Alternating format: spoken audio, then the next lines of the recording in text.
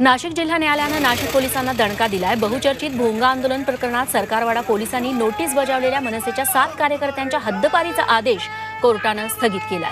हनुमान चालिसा वाजवण्यात आल्यानं वेगवेगळ्या पोलीस ठाण्यात कार्यकर्त्यांवर गुन्हे दाखल करण्यात आले होते.